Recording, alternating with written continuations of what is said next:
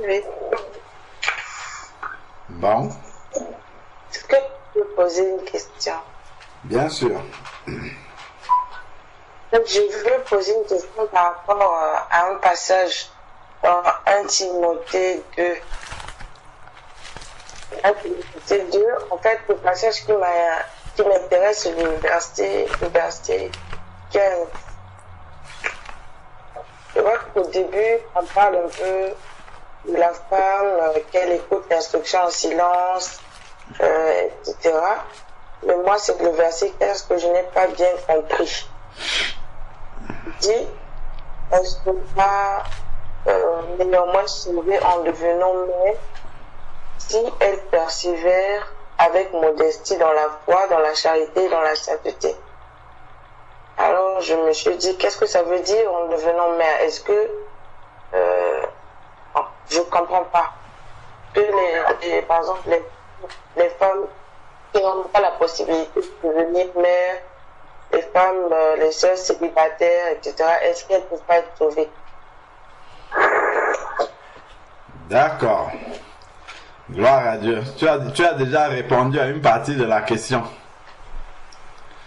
Parce que eff- eff- effectivement, s'il parle du salut ici, ça veut dire que les sœurs, les sœurs Stéphanie, par exemple, n'a pas d'enfant. Notre sœur Stéphanie qui est là n'a pas d'enfant.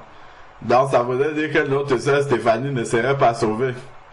Tu vois, dans ça, ça n'a pas, ça veut dire que ce ça, ça ne devrait pas être la bonne manière de comprendre.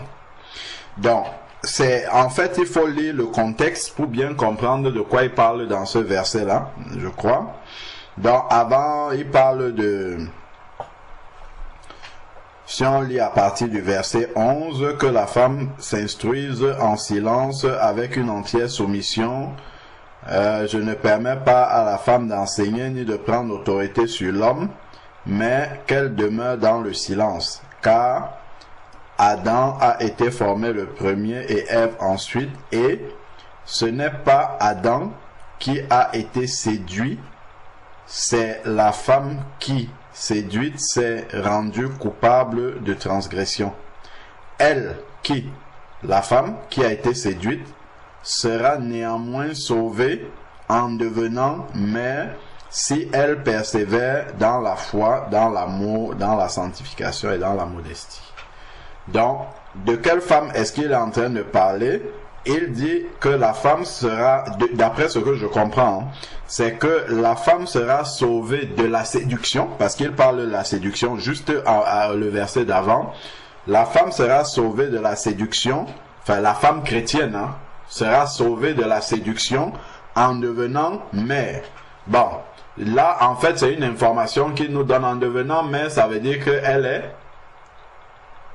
elle est mariée parce que euh, mère seule ça ne devrait en tout cas ce n'est pas conforme à la volonté de Dieu. Donc s'il dit en devenant mère c'est en devenant mère dans le Seigneur.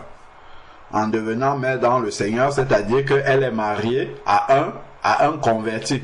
C'est ça c'est ça que moi je comprends ici derrière.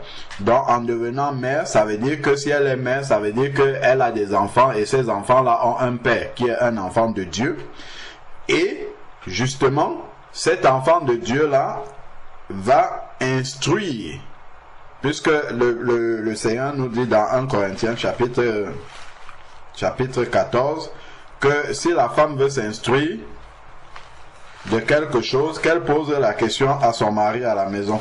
Je crois que c'est ce qui est écrit là, dans 1 Corinthiens chapitre 14. 1 Corinthiens chapitre 14, verset 35, si elles veulent s'instruire de quelques points, qu'elles interrogent leur propre mari à la maison car il est malséant pour une femme de parler dans l'église. Donc, en devenant mère, ça suppose qu'elle a un mari chrétien et donc elle a quelqu'un à qui elle peut poser des questions. Donc, en posant des questions, son mari à la maison, qui est un enfant de Dieu, va l'instruire, l'exhorter et euh, euh, grâce à ses exhortations, son instruction, elle sera gardée de la séduction. Et maintenant, elle va être sauvée de la séduction en en, mettant en pratique ce que son mari chrétien va lui apporter comme exhortation et elle devra donc persévérer dans la foi. Donc c'est-à-dire qu'elle devra mettre, avoir la foi dans l'instruction qu'elle va recevoir de son mari chrétien, demeurer dans l'amour, la sanctification, la modestie. Tout ça, ça va la préserver de, de la séduction. Parce que s'il n'y a pas la modestie, par exemple, elle peut être séduite déjà par l'apparence extérieure, essayer d'être très très euh, voilà. Euh, euh, comment dire, euh, il y a la volupté dans le dans le cœur, par exemple, la, la séduction, la convoitise des yeux, déjà peut peut l'amener à être séduite et ensuite, suite, si, elle ne demeure pas dans la sanctification, ça là, elle peut être séduite également. Si elle n'a pas la foi dans ce qu'elle reçoit, ça, ça peut la conduire, tout cela peut la conduire à la séduction. Donc c'est comme ça que moi je comprends ce, ce passage-là. Je comprends vraiment sauver de la séduction euh, euh, en devenant mère. Parce qu'effectivement, si on parle du salut ici, ça, ça, ça, ça exclurait les, les, les, les sœurs qui ne sont pas, les eunuques sœurs par exemple. Ça, ça les, ça les exclurait de, du salut. C'est comme ça que j'ai compris. Amen. Amen. Amen. Amen. Amen. Amen. Justement, comme Allô? Allô? Oui, maman, attends, attends un peu, une minute. Justement, on voit,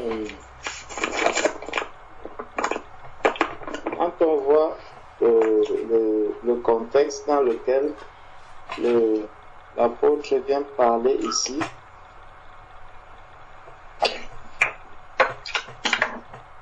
Le verset 12, là justement, parce que ce mois, il y a un sous-titre, les devoirs des femmes.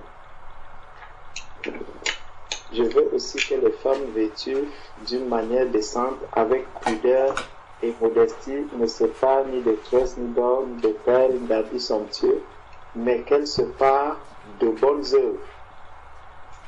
Qu'elles se parent de bonnes œuvres, comme il convient à des femmes qui font profession de servir Dieu, comme à des femmes qui font profession de servir Dieu. Donc, toutes les femmes, toutes les femmes doivent se parer de ces bonnes œuvres-là.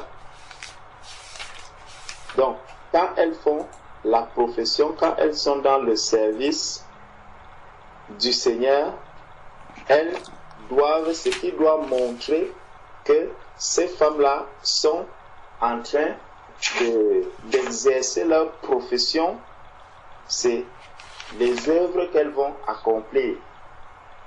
Qu'elles se parlent de bonnes œuvres, comme il convient à des femmes qui font profession de servir Dieu. Donc, dans l'exercice de leur euh, fonction, la femme dans l'exercice de de ses fonctions, on va voir les œuvres. C'est les œuvres qu'on va voir. Donc, c'est les œuvres qu'on va voir.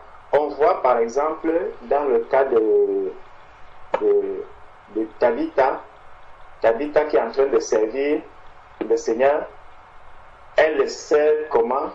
Dans la charité, l'amour qu'elle manifeste. Et lorsque Pierre, par exemple, vient et qu'elle doit réveiller Tabitha, les seules choses qu'on va d'abord montrer, ce sont les témoignages, c'est le témoignage des œuvres que Tabitha a accomplies. C'est ça qu'on va d'abord présenter à Pierre. Donc, dans sa profession de servir le Seigneur, il y a ces œuvres-là qui parlent. Bon. Et le, le Seigneur va encore dire, et continue, que la femme écoute l'instruction en silence, avec une entière soumission. Que la femme écoute l'instruction en silence, avec une entière soumission. Je ne permets pas à la femme d'enseigner. Déjà, si quelqu'un écoute l'instruction en silence, ça veut dire qu'il n'a pas à enseigner. Mais le Seigneur, pour qu'il n'y ait pas d'ambiguïté dessus, il revient pour dire que je ne permets pas à la femme d'enseigner ni de prendre de l'autorité sur l'homme, mais elle doit demeurer dans le silence, justement, de sorte que quand il y a même quelque chose à demander, des questions à poser, elle va les poser à son mari. Et dans Éphésiens chapitre 5, et nous, oh, le Seigneur nous montre que l'homme, dans l'amour qu'il manifeste à son épouse, il, doit, il a le devoir de l'enseigner, il doit lui donner l'instruction qu'il faut. Comme le Seigneur aussi est en train, est venu sur la terre et il a laissé l'instruction à l'Église. Il a laissé l'enseignement pour que l'Église puisse s'instruire de l'enseignement qu'il a laissé. Donc, verset 13. Car Adam a été formé le premier, car Adam a été formé le premier, Ève ensuite. Et ce n'est pas Adam qui a été séduit, c'est la femme qui, séduite, s'est rendue coupable de transgression. Donc on voit effectivement qu'il y a un problème, c'est que lorsque la femme est se retrouve dans une situation où elle doit prendre la parole, où elle doit, euh, euh, euh, où elle veut prendre la place de l'homme. Il y a justement la séduction qui arrive là, comme ça s'était passé depuis Genèse avec Adam et Ève. Il y a la séduction qui se présente. Et quand la séduction se présente, la femme est coupable de cette séduction parce qu'elle n'a pas reçu cette autorité elle n'a pas reçu l'autorité du Seigneur et donc elle est exposée à la séduction. Et on le voit également, après donc il va dire, elle sera néanmoins sauvée en devenant mère. Donc la femme, lorsque la femme va faire le travail de mère, la mère, justement, quand on regarde un peu la, la définition que Jésus-Christ avait donnée de la mère, où il avait dit qui est ma mère et qui est qui sont mes frères? C'est ceux qui font la volonté de mon Père. C'est ce que Jésus-Christ donne. Donc, si la femme devient mère, donc la femme doit faire exactement la volonté de Dieu, qui est de ne pas enseigner la parole de Dieu, de s'occuper de son mari, de donner une bonne instruction à ses enfants, et de respecter scrupuleusement. voyons un peu dans, dans le livre de Deutéronome, Deutéronome chapitre, c'est Deutéronome chapitre 10. Oui, Deutéronome chapitre 10, verset 12. Deutéronome chapitre 10, verset 12. Je vais regarder un peu quelque chose là dans Ephésiens aussi. Dans Ephésiens.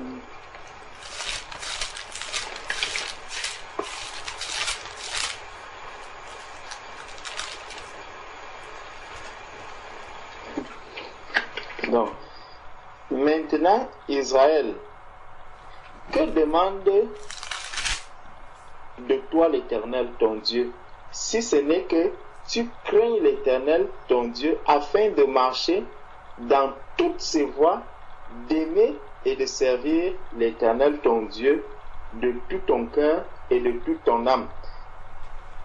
Donc, Dieu demande à Israël craindre afin de marcher dans toutes ses voies, d'aimer et de servir l'Éternel, son Dieu de tout ton cœur et de toute ton âme. Donc, de la même manière, la femme aussi, qui fait profession de servir Dieu, doit craindre l'Éternel. Parce que quand on parle d'Israël ici, c'est euh, l'image de l'Église. Or, quand on fait le rapprochement Église entre l'Église et Jésus-Christ, le mari et la femme, donc, la femme, dans la relation qu'elle a avec son mari, elle doit occuper la place qui est la sienne. dans le corps du Christ, la femme doit occuper la place qui est la sienne, l'homme doit occuper la, la, place qui est la sienne. Donc, en faisant le travail de, euh, euh, de servir le Seigneur, comme Jésus lui-même avait dit qui est ma mère, qui sont mes frères, c'est ceux qui font la volonté de mon Père. Donc, en faisant la volonté de Dieu, en faisant le service du Seigneur, la femme accomplit alors, elle sera néanmoins sauvée en devenant mère si elle persévère avec modestie dans la foi, dans la charité et dans la sainteté. La foi, la charité, la sainteté. La charité, la sainteté. avec modestie. Et je crois que c'est la modestie qu'il demande à la femme. Voilà. Au verset 9 même. Je veux aussi que les femmes vêtues d'une manière décente, avec pudeur et modestie, ne se pas. Donc, la femme doit vraiment être euh, totalement effacée. La femme doit être totalement effacée et parler par ses œuvres, parler par ses actes. Et par ces actes-là, elle euh, sert le Seigneur. On le voit aussi avec le cas de, Marie, Marie de Magdala, qui est en train de servir le Seigneur. Elle fait vraiment profession de servir Dieu quand il faut écouter l'instruction, elle est à la place qu'elle doit occuper. Elle est au pied du Seigneur et le Seigneur dit qu'elle a choisi la bonne part qui ne lui sera jamais ôtée. Donc elle fait profession de servir Dieu. Elle est en train de servir le Seigneur. Au moment où il faut écouter l'enseignement, elle l'écoute. Elle a la foi. Parce qu'il dit, si elle persévère avec modestie dans la foi, quand on voit comment lorsque Marie voit Jésus arriver à la résurrection euh, pour ressusciter Lazare, Marie, on voit la sérénité qu'elle a. Donc elle est en train de persévérer dans la foi. Et même lorsque il faut aller euh, au tombeau, on voit la persévérance que Marie de Magdala manifeste malgré le fait que ses frères et tout le monde s'en va, il, il, il, euh, ses frères partent, elle reste là, elle continue à attendre, elle continue à attendre, et on voit que le Seigneur vient se révéler à Marie de Magdala, la première. Donc elle a persévéré dans la foi. Elle croyait qu'il y a quelque chose ici, il y a un mystère ici que je dois, que je, que je dois percer. Et on voit comment l'attitude que les frères, que ses frères ont eu, ses frères sont arrivés, ils ont dit, bon, de toutes les façons, c'est vrai, il y a les choses qui sont comme elles ont dit, mais on ne le voit pas, donc nous on peut repartir. Donc on voit vraiment la différence entre le travail que les frères font et le travail que les sœurs font. Lorsque les sœurs prennent vraiment leur travail au sérieux, on va voir beaucoup de choses qui vont arriver, on va voir beaucoup de choses qui vont être mises, à, qui vont être rangées qui seront rangés dans le corps du Christ parce que la femme a vraiment pris son travail au sérieux. Donc, elle sera néanmoins sauvée en devenant mère si elle persévère avec modestie dans la foi, dans la charité et dans la sainteté. La charité qu'elle va manifester quand on regarde la charité. La charité n'est point envieuse. La charité n'est point 1 Corinthiens chapitre 13.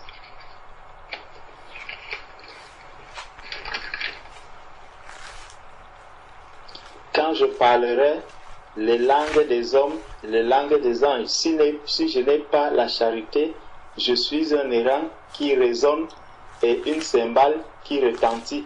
Donc la sœur si la sœur n'a pas la charité et qu'elle veut parler, elle sera dans cette cymbale, elle sera un airain qui résonne. Et quand j'aurai le don de prophétie, la science de tous les mystères et toute la connaissance, quand j'aurai même la foi jusqu'à transporter les montagnes, si je n'ai pas la charité, je ne suis rien. Et quand je distribuerai tous mes biens pour la nourriture des pauvres, quand je livrerai même mon corps pour être brûlé, si je n'ai pas la charité, cela ne me sert de rien. On comprend que la charité, c'est vraiment au-delà d'une simple distribution des choses. C'est qu'il y a vraiment un don de soi. Il y a un don de soi. On doit aimer ce que l'on fait. Quand je livrerai mon corps pour être brûlé, si je n'ai pas la charité, cela ne me sert de rien. La charité est patiente. Elle est pleine de bonté. La charité n'est point envieuse. La femme doit persévérer dans toutes ces choses-ci. La charité ne se vante point. Elle ne s'enfle point d'orgueil. Elle ne fait rien de malhonnête. Elle ne cherche point son intérêt. Elle ne s'irrite point. Elle ne soupçonne point le mal. La parole de Dieu dit que la femme doit persévérer dans toutes ces choses-ci. Elle ne se réjouit point de l'injustice, mais elle se réjouit de la vérité. Elle excuse tout, elle croit tout, elle espère tout, elle supporte tout. La femme doit persévérer. La charité ne périt jamais. Les prophéties périront. Les, les prophéties prendront fin. Les langues cesseront. La connaissance disparaîtra. Car nous connaissons en partie et nous prophétisons en partie. Mais quand ce qui est parfait sera venu et que ce qui est partiel disparaîtra, lorsque j'étais enfant, je parlais comme un enfant. Donc, la femme doit persévérer dans la charité. La femme doit persévérer dans la sainteté, la crainte de l'éternel. C'est dans ces domaines-ci. Ça, c'est le travail que la femme doit faire. Elle doit persévérer dedans pour son salut. Ça veut dire que lorsque le Seigneur vient et qu'il vienne demander des comptes à la femme, ça ne sera pas sur l'enseignement, mais ça sera dans son travail de maman. Comment est-ce que tu t'es occupé de ton mari? C'est pour ça que l'apôtre Paul va aussi dire dans l'épître de Paul à Tite, dans l'épître de Paul à Tite, il va encore dire que, petit chapitre 2, pour toi, dis les choses qui sont conformes à la saine doctrine. Dis que les vieillards doivent être sobres, honnêtes, modérés, saints dans la foi, dans la charité, dans la patience. Dis que les femmes âgées doivent avoir l'extérieur qui convient à la sainteté, n'être ni médisantes, ni adonnées au vin, qu'elles doivent donner de bonnes instructions dans le but d'apprendre aux jeunes femmes à aimer leur mari et leurs enfants. Donc, lorsque les jeunes femmes apprennent à aimer leur mari et à aimer leurs enfants, ça veut donc dire que ces jeunes femmes et ces hommes sont en train de recevoir une, une instruction qui va les aider maintenant à manifester l'amour la charité dont on parlait déjà dans 1 Timothée, dont l'apôtre Paul parlait déjà dans 1 Timothée euh, chapitre 2 verset 15.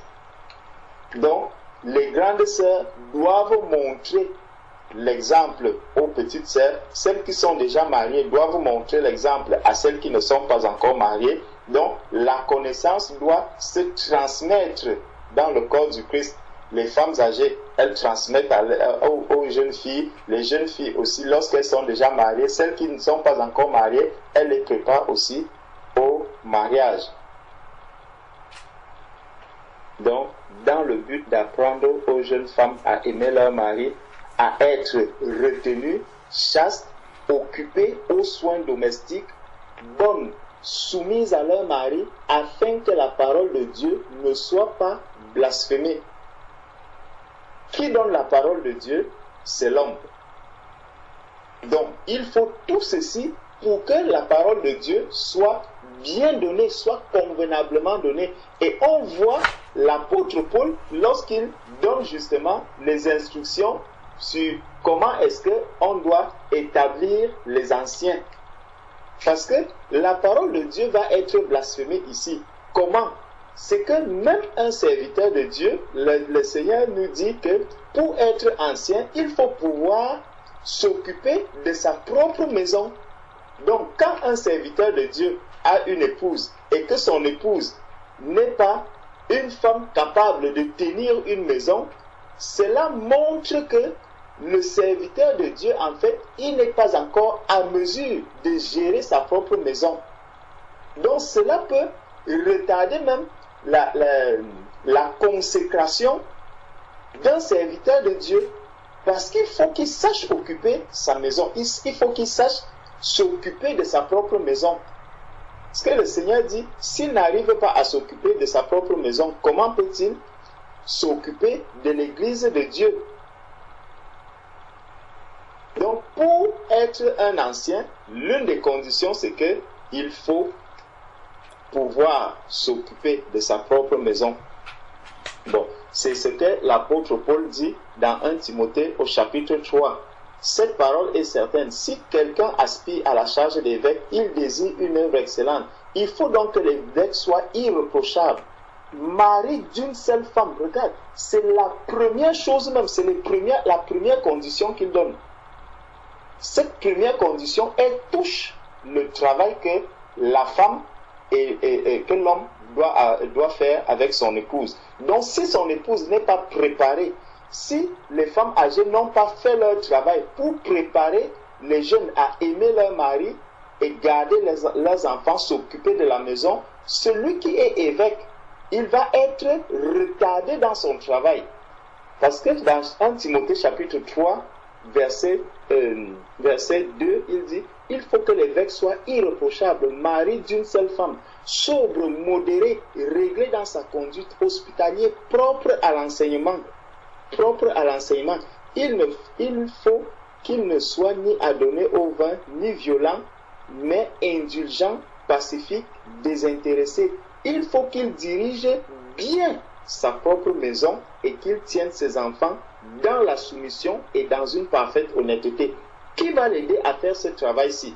C'est dans 1 Timothée chapitre 2 que l'on voit l'aide. La, euh, l'aide. Le Seigneur vient lui donner de l'aide. Dans Genèse, le Seigneur, lorsqu'il voit l'homme, il dit, il n'est pas bon que l'homme soit seul. Je lui ferai une aide semblable à lui.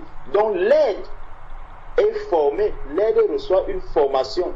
Dans Tite chapitre 2, verset 3, euh, euh, verset 4, dans le but d'apprendre aux jeunes femmes à aimer leur mari et leurs enfants, à être retenus chastes occupés aux soins domestiques, bonnes, soumises à leur mari afin que la parole de Dieu ne soit pas blasphémée. Donc, lorsque la femme a déjà été bien formée par les femmes âgées, elle est donc, elle, et qu'elle devienne la femme d'un serviteur de Dieu, de quelqu'un qui aspire à la charge d'évêque, l'évêque a donc une qualification maintenant. Donc dans son CV, il peut dire que je sais diriger ma propre maison. Quand on arrive dans sa propre maison, on voit comment la maison est rangée, on voit comment la femme s'occupe des enfants, comment la femme s'occupe de lui, comment la femme lui est soumise. Alors là, on valide donc que celui-ci effectivement est, peut être évêque. Verset 5 de 1 Timothée chapitre 3. Car si quelqu'un ne sait pas diriger sa propre maison, comment prendra-t-il soin de l'Église de Dieu? Donc, comment est-ce qu'il n'arrivera pas à diriger sa propre maison? C'est quand sa femme ne sait pas comment est-ce qu'on entretient un, ménage.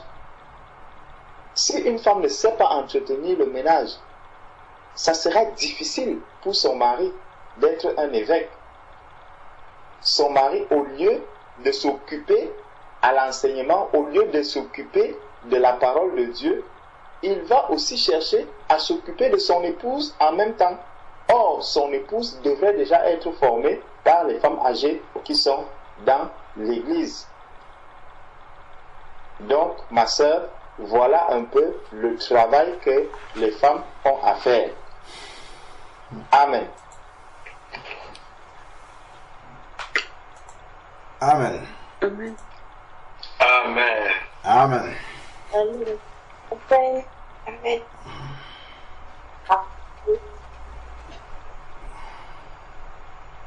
Amen.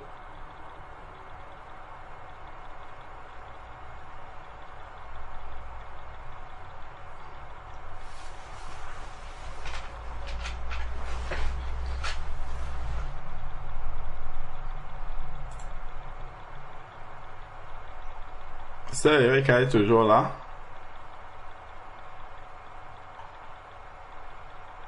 Je suis toujours là. Gloire à Dieu. On va alors te laisser faire la prière de clôture s'il n'y a plus rien à rajouter.